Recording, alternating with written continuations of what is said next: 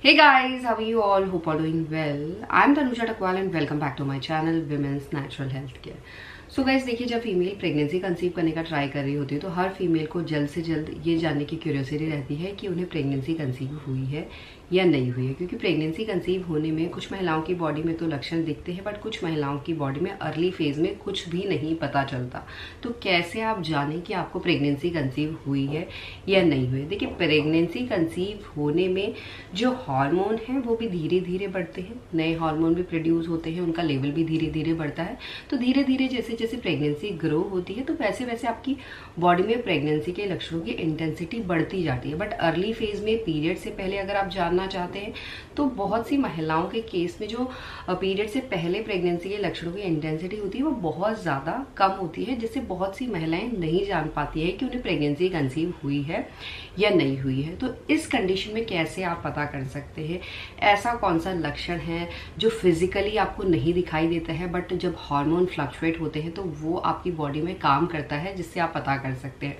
तो देखिए guys first of all तो प्रेगनेंसी जो महिलाओं को कंसीव होती है, वो पीरियड साइकिल लेंथ के इक्कीसवें दिन से लेकर तीसवें दिन के बीच में कभी भी हो सकती है। प्रेगनेंसी कंसीव होने का मतलब है, बच्चा सफलतापूर्वक यूट्रल लाइनिंग में चिपक चुका है तो उसके बाद से प्रेगनेंसी हार्मोन बनता है। प्रेगनेंसी हार्मोन भी धीरे धीरे बढ़ता है तो धीरे धीरे प्रेगनेंसी के लक्षणों की इंटेंसिटी भी बढ़ती जाती है। अगर पीरियड से पहले आपको जानना है तो बेस्ट तरीका है अपने बेसल बॉडी टेम्परेचर को मेजर कीजिए। देखिए, बेसल बॉडी टेम्परेचर आपका काम करता है, जैसे जैसे आपके हार्मोन फ्लक्चुएट करते हैं। फ्लक्चुएट करते हैं तो वैसे वैसे आपका जो बॉडी का टेम्परेचर है, वो भी उसी तरीके से काम करता है। ओविलेशन से पहले एस्ट्रोजन हार्मोन काम करता है ओविलेशन के बाद प्रोजेस्ट्रॉन हार्मोन काम करता है। अगर प्रेगनेंसी कंसीव होती है तो प्रोजेस्ट्रॉन हार्मोन का लेवल तेज़ी से बढ़ता है। साथ में प्रेगनेंसी हार्मोन और नए हार्मोन भी प्रोड्यूस होना शुरू हो जाते हैं। तो हार्मोन का फ्लक्चुएशन होता है तो बेसल बॉडी टेम्परेचर में भी बदलाव आते हैं। तो इन बदलाव के थ्रू आप अपनी प्रेगनेंसी को जान सकते हैं बट उसके लिए आपको पीरियड के पहले दिन से अपने बेसल बॉडी टेम्परेचर को मेजर करना होता है। क्या तरीका है, कब करना है, कैसे आप सही तरीके से पता कर सकते हैं बेसल बॉडी टेम्परेचर के थ्रू ये मैं आपको आगे वीडियो में बताऊँगी, पूरा वीडियो देखेंगे, तभी जाके आप अपनी प्रेगनेंसी को बेसल बॉडी टेम्परेचर के थ्रू पता कर सकते हैं। देखिए, होता क्या है गाइस जब महिलाओं का ओव्यूलेशन होने वाला होता है उससे पहले महिलाओं के बेसल बॉडी टेम्परेचर में थोड़ी सी गिरावट होती है और जैसे ही महिलाओं का ओव्यूलेशन होता है। ओवुलेशन होने का मतलब है कि ओवरी से अंडा बाहर निकल के फेलोपियन ट्यूब में चला गया है।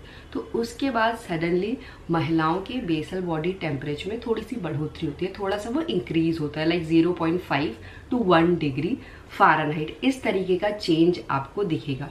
क्योंकि देखिए ओवलेशन से पहले एस्ट्रोजन हार्मोन काम करता है और जैसे ही महिलाओं की ओवरी से अंडा रिलीज़ होता है तो प्रोजेस्ट्रॉन हार्मोन काम करना शुरू कर देता है। तो उसके बाद महिलाओं के बेसल बॉडी टेम्परेचर में भी बदलाव आता है। बट यहाँ पे आप ये नहीं बोल सकते हैं कि आपको प्रेगनेंसी कंसीव हो गई है, क्योंकि ओवुलेशन के बाद भी प्रेगनेंसी कंसीव करने में कम से कम सात दिन का टाइम लगता है। तो अगर आप अपने बेसल बॉडी टेम्परेचर को मेजर कर रहे हैं पीरियड के पहले दिन से ओवुलेशन के बाद तो आप देखेंगे कि सो आप देखेंगे जब आपको प्रेगनेंसी कंसीव नहीं होती है तो हार्मोन का लेवल भी कम होना शुरू हो जाता है। अगर प्रेगनेंसी कंसीव होती है तो हार्मोन का लेवल भी बढ़ता है। अगर हार्मोन का लेवल बढ़ रहा है तो आपका जो ओवुलेशन के बाद बेसल बॉडी टेम्परेचर बढ़ा हुआ है, वो थ्रू आउट प्रेगनेंसी बढ़ा ही रहता है। इसके पीछे के दो कारण हैं। सबसे पहला तो हार्मोन फ्लक्चुएशन की वजह से और दूसरा कारण है महिलाओं की बॉडी में ब्लड सर्कुलेशन भी तेज होता है, जिसकी वजह से महिलाओं का बेसल बॉडी टेम्परेचर थोड़ा सा बढ़ जाता है थ्रू आउट प्रेगनेंसी ये दो बहुत बड़े कारण हैं। अगर आप सही तरीके से बेसल बॉडी टेम्परेचर को मेजर कर रहे हैं तो आप ये जान सकते हैं कि कब आपका ओविलेशन हो रहा है या कब आपका इम्प्लांटेशन सफल हुआ है, कब आपको प्रेगनेंसी कंसीव हुई है या नहीं हुई है। तो बेसल बॉडी टेम्परेचर को मेजर करने का बेस्ट टाइम है मॉर्निंग में जब आप बेड पे ही होते हैं तो बेड के पिलो के नीचे आप रख सकते हैं या साइड पे आपको थर्मामीटर रखना है डिजिटल वाला। वो थर्मामीटर आपको बेड से नहीं उठना है, लेटे लेटे लेटे अपने टेम्परेचर को मेजर करना है और डायरी में पीरियड के पहले दिन से नोट करना शुरू कर देना है, जिससे आपको पता चल जाएगा कि किस तरीके से आपका बॉडी का टेम्परेचर फ्लक्चुएट कर रहा है। और बेसल बॉडी टेम्परेचर को मॉर्निंग में ही इसलिए मेजर किया जाता है क्योंकि आपकी बॉडी जब रेस्ट पे होती है तो आपको एग्जैक्ट और एक्यूरेट रिज़ल्ट मिल पाती है, जिससे आपको एक्यूरेसी से पता चल पाता है कि आप प्रेग्नेंट हैं। या नहीं? तो इसी तरीके से आप अपने बेसल बॉडी टेम्परेचर को मेजर करके बिना किसी फ़िज़िकल प्रेगनेंसी के लक्षणों के थ्रू भी पता कर सकते हैं कि आपको प्रेगनेंसी कंसीव हुई है या नहीं हुई है। एंड यही आज का वीडियो होप करती हुई वीडियो भी आप लोगों को अच्छा लगा होगा। And thanks for watching this video will see you soon में नेक्स्ट वीडियो टिल देन